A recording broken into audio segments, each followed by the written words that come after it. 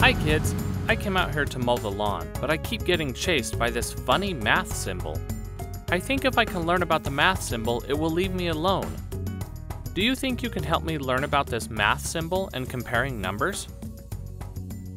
Thank you so much, I really appreciate this. Uh-oh, here he comes again. To start off learning, we are going to look at three symbols. Each one of these symbols are used to compare numbers. Some of these symbols may look familiar. For example, the sign on the bottom is an equal sign, and you have probably seen this before. Can you tell me what this symbol means? It means the same. That means whatever is on this side of the equal sign has to be the same as whatever is on this side for them to be equal. This symbol is the less than symbol. You can see how this symbol looks like a big alligator mouth. The less than symbol always has the big mouth facing the right side. The greater than symbol also has the same big mouth, but the mouth always points to the left. An easy way to understand these symbols and how we use them to compare numbers is to remember how we read. When we read a book, we read from left to right. We do the same when comparing numbers. We start from the left to right, and that helps us know which symbol to use. We are going to use these symbols to compare numbers. Here is the numbers 16 and 14, and we are going to compare the two numbers to see which symbol we should use.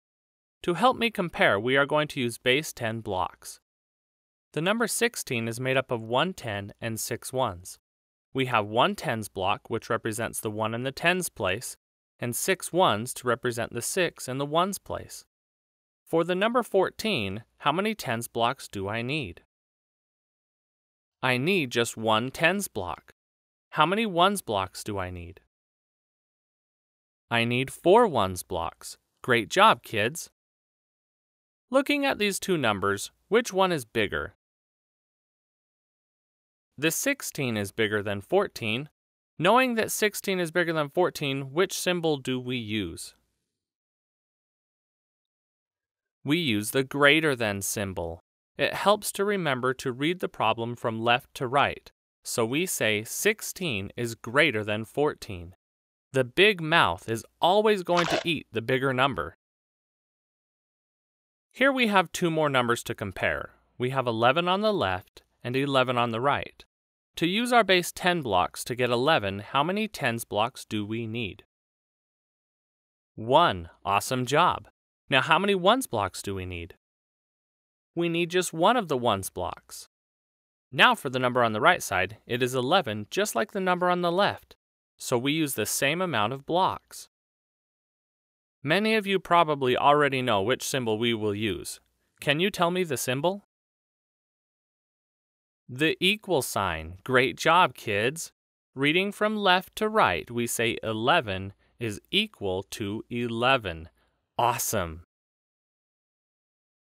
Here's the numbers 13 and 15. Go ahead and take a minute on your own to find out how many tens and ones blocks you will use with each number.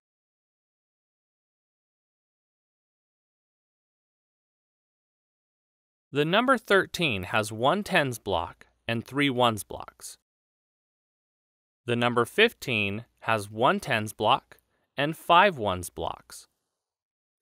Now to compare the numbers reading from left to right, which symbol will we use? We will use the less than symbol. Amazing!